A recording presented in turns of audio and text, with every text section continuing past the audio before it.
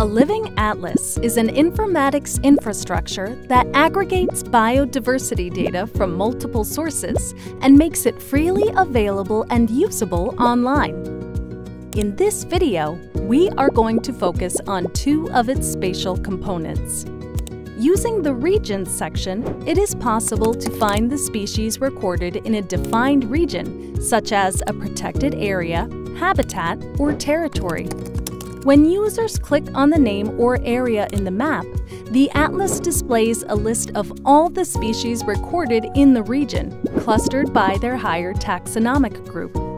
By exploring a taxonomic group or a species, all records belonging to the selection can be highlighted for detailed exploration and downloaded as a checklist or a records file.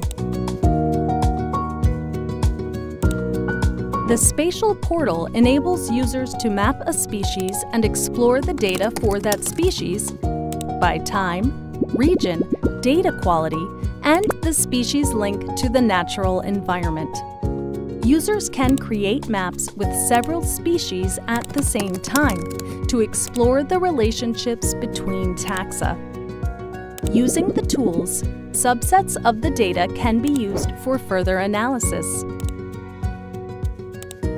Users can define their own areas by drawing polygons around the area of interest or by uploading GIS files, such as shapefiles. In addition, areas can be defined by spatial information on environment conditions, such as rainfall and altitude. Once an area is mapped, users can generate a report of the data available. This report contains statistics about the biodiversity for this area, such as number of species, endemic species, details of checklists, lists of species of conservation interest, or invasive species.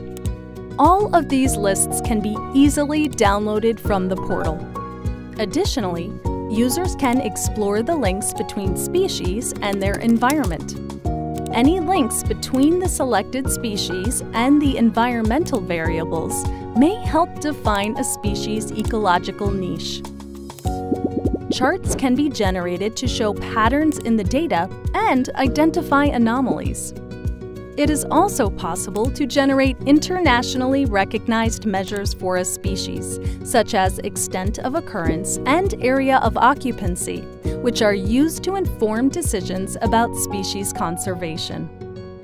The Living Atlas offers a detailed picture of its national biodiversity and is the basis for research, environmental monitoring, conservation planning and management, education, and citizen science activities.